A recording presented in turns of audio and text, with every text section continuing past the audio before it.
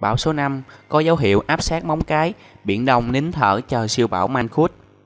Bão số 5 Barizat vẫn đang tiến về phía móng cái Quảng Ninh với sức gió mạnh cấp 10, trong khi đó còn khoảng 2 ngày nữa siêu bão Mankhut sẽ vào Biển Đông. Theo Trung tâm Dự báo Khí tượng Thủy văn Quốc gia, hồi 4 giờ sáng nay, 13 tháng 9, bão số 5 Bazirizat đang ở móng cái, Quảng Ninh, nằm khoảng 400 km về phía đông, sức gió mạnh nhất vùng gần tâm bão, mạnh cấp 8, 60 đến 75 km trên 1 giờ, giật cấp 10, phạm vi gió mạnh cấp 6, giật cấp 8, trở lên khoảng 80 km tính từ tâm bão. Dự báo trong 12 giờ tới, bão sẽ di chuyển theo hướng Tây Tây Bắc, mỗi giờ đi được khoảng 15 đến 20 km khi vào đi vào khu vực phía bắc của vịnh Bắc Bộ và suy yếu dần thành áp thấp nhiệt đới. Áp thấp nhiệt đới mạnh cấp 7, 50 đến 60 km trên một giờ, giật cấp 9, tiếp tục di chuyển theo hướng Tây Tây Bắc, mỗi giờ đi được khoảng 15 đến 20 km trên một giờ. Áp suất nhiệt đới sau đó suy yếu dần thành vùng áp thấp và đi vào đất liền tỉnh Quảng Ninh đến Hải Phòng. Do ảnh hưởng của bão, khu vực phía Tây, Tây Bắc, khu vực Bắc Biển Đông trong ngày hôm nay 13 tháng 9 có mưa bão, gió mạnh cấp 6, cấp 7, vùng gần tâm bão đi qua cấp 8, giật cấp 10, biển động mạnh. Phía Bắc, Vịnh Bắc Bộ có mưa rào và dông, gió cấp 6, cấp 7, giật cấp 9. Ở huyện đảo Bạch Long Vĩ, từ Cô Tô, từ chiều nay sẽ có gió mạnh cấp 6, sau đó tăng lên cấp 7, giật cấp 9. Sóng biển trên Vịnh Bắc Bộ cao từ 2 đến 3 mét, biển động mạnh. Từ đêm nay 13 tháng 9 đến ngày 14 tháng 9, ở phía đông bắc bộ có mưa, mưa vừa, riêng khu vực đông bắc và việt bắc có mưa vừa, mưa to. Tổng lượng mưa cả đợt phổ biến từ 50 đến 100 mm trên một đợt.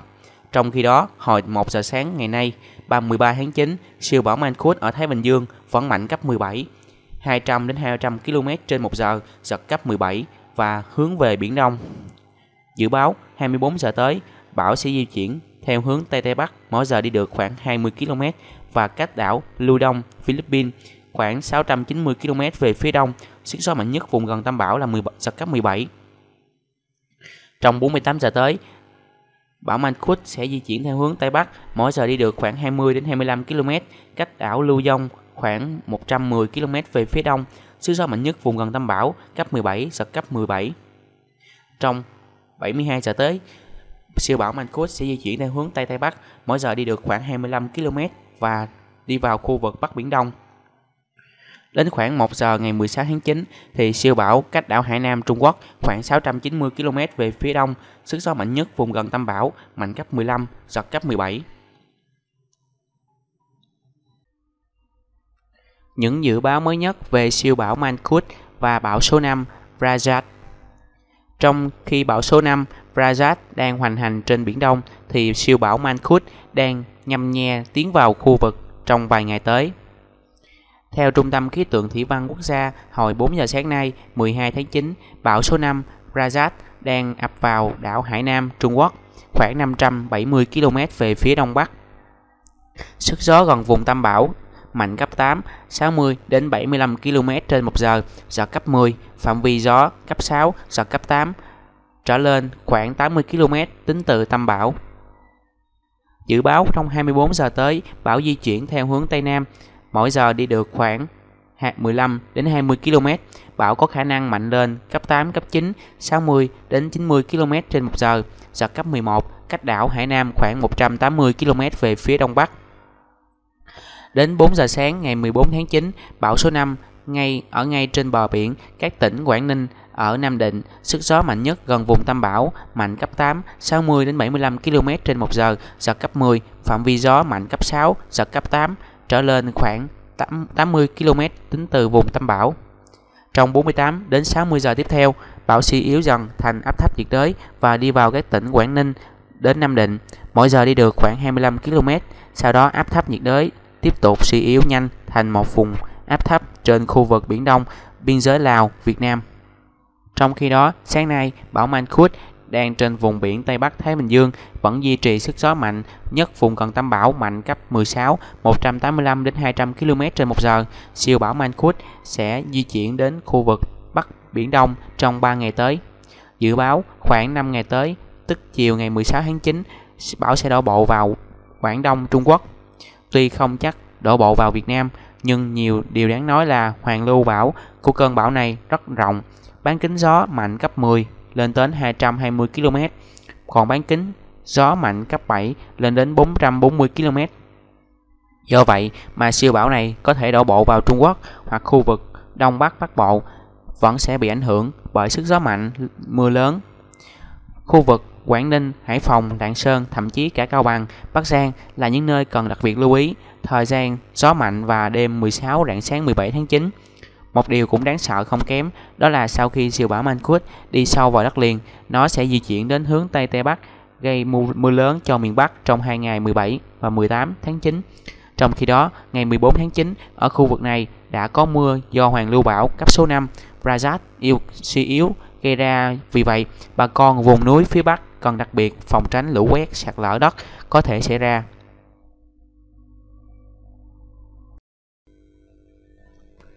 Câu chuyện buồn về người con đặc biệt của vợ chồng thạc sĩ bán chè Sài Gòn. Sự nghiệp có thể làm lại, nhưng con cái thì bố mẹ không có cơ hội thứ hai. Con trai mắc bệnh, một căn bệnh hiếm gặp. Hai vợ chồng chị Nhi, anh Quang đã không ngần ngại gác lại ước mơ của bản thân để dành hết thời gian chăm sóc con. Bởi với anh chị, sự nghiệp có thể làm lại, nhưng với con cái thì bố mẹ không có cơ hội thứ hai. Cuộc đời luôn xuất hiện những ngã rẽ bất ngờ, buộc ta phải lựa chọn, đánh đổi hay bước sang một con đường mới. Và đây, câu chuyện của vợ chồng trẻ quán chè mẹ siêu nhân thành phố Hồ Chí Minh là minh chứng cho những ngã rẽ đó. Là người là cha, là mẹ sẽ sẵn sàng hy sinh sự nghiệp của mình để cho con có một tương lai tốt đẹp. Cậu con trai nhỏ của anh Lê Văn Quang, 30 tuổi và chị Lương Thị Nhi, 28 tuổi, mang một tên một đặc biệt là Lê Quang Thạc, nhằm ghi dấu ấn sự kiện Cậu bé được sinh ra sau khi cả hai vợ chồng đều bảo vệ thành công luận án thạc sĩ vào năm 2016. Đến khi 10 tháng tuổi, Thạc có nhiều biểu hiện bất thường so với những đứa trẻ cùng trang lứa. Thấy vậy, chị Nhi vội đưa đến bác sĩ khám bệnh. Người mẹ đã khóc rất nhiều, thậm chí đưa con đi khám hai ba lần vì không tin vào kết quả của bác sĩ.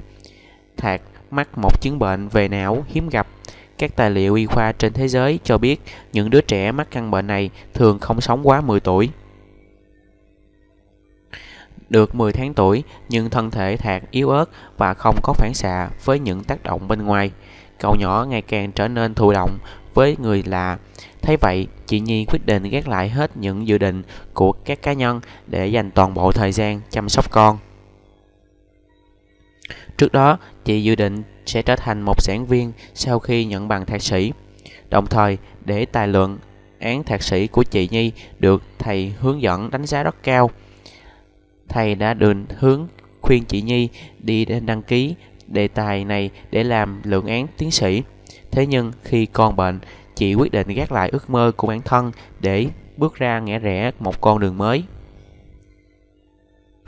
Chị Nhi tâm sự sinh một đứa con ra thì mình phải có trách nhiệm với nó. Việc giáo dục con từ 0 tuổi đến 3 tuổi là quan trọng nhất đối với một đứa trẻ, ảnh hưởng đến cả cuộc đời của con sau này. Thế nên, chỉ dành thời gian để chăm sóc con tốt nhất. Tham khảo các phương pháp trên thế giới, hai vợ chồng chị Nhi quyết định mở quán kè, mở quán chè này để mong muốn tạo con một không gian mở, có cơ hội giao tiếp với nhiều người và trở nên mạnh dạn hơn. Thời gian đầu, một mình chị Nhi vừa chăm con vừa bán chè, việc lúc nào cũng quá tải. Thấy vợ quá vất vả và con trai cũng không có nhiều tiến bộ, anh Quang đã nộp đơn xin nghỉ việc để đồng hành cùng vợ trên con đường, giúp con hòa nhập với cuộc sống. Sự nghiệp thì có thể làm lại, nhưng với con cái thì bố mẹ không có cơ hội thứ hai. Chính vì vậy, anh chị không hề tiếc nuối những gì đã bỏ lỡ. Anh Quang chia sẻ, mỗi ngày anh phụ vợ, nấu nướng rồi đưa Thạc đi bơi, đi vật lý trị liệu, tập cho con từng bước đi qua. Khó khăn nhất khi chăm sóc Thạc là những khi bé bị co giật vì ảnh hưởng nhiều đến não. Chị Nhi kể, nhiều lúc ngủ mà ám ảnh không biết con có bị co giật hay không. Thế nhưng từ ngay mở quán tre, Thạc cởi mở hơn với mọi người, tinh thần thoải mái hơn nên sức khỏe cậu có nhiều tiến bộ. cậu anh hai tên thiện cũng là một nhân tố giúp em Thạc ngày càng lanh nhanh hơn. Mỗi ngày, ba bố con chơi đùa với nhau, rồi phụ mẹ bán chè. Cuộc sống bỗng chốc đơn giản mà hạnh phúc đến lạ thường. Quán chè được lấy tên là Mẹ Siêu Nhân, bắt nguồn từ tên một câu lạc bộ có tên câu lạc bộ gia đình siêu nhân dành cho các gia đình có con bị tổn thương não. Mẹ siêu nhân là mẹ của những cậu nhóc. Cô nhóc luôn kiên cường vượt qua căn bệnh của mình. Cũng là người mẹ nghị lực luôn mạnh mẽ để giúp con đối diện với những điều kiện không may mắn. Chị Nhi vui vẻ tâm sự, nhiều người hỏi anh chị vì tiếc nuối phải bỏ lỡ ước mơ sự nghiệp của bản thân để chăm sóc con. Anh chị không hề hối hận bởi thạc, bởi thạc mới chính là sự nghiệp lớn nhất của cuộc đời anh chị.